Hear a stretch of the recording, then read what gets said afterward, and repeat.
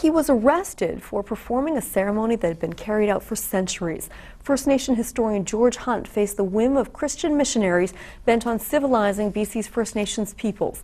He was not a carver, as though many in his family were, but rather a recorder of native life. Bruce Kirkpatrick now with This Week in History.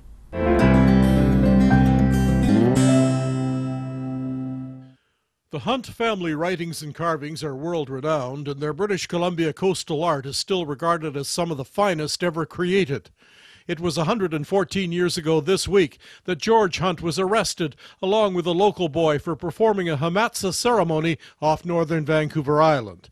Hamatsa is a secret native society that performs ceremonies and rituals.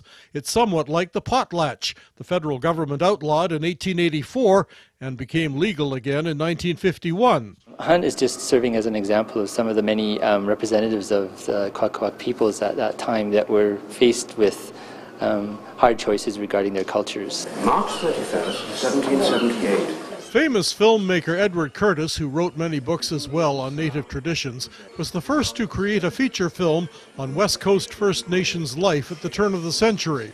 This is the type of life George Hunt and his young friend lived while facing trial in Nanaimo in a case that then moved to Vancouver.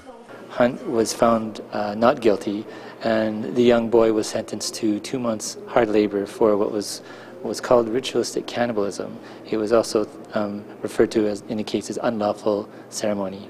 Cannibalism because he bit his arm. Yes, um, th that was the, the, the evidence. George Hunt's work formed a bridge between European and Indigenous life when First Nations cultures were believed to be on the verge of extinction. For 45 years, he contributed stories, music, and native ceremonial details to anthropologist Franz Boas, who published his books worldwide.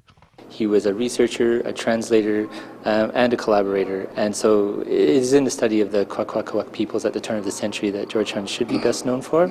Native carver Bill Reid said, It's time to start living like British Columbians and stop living like displaced Europeans.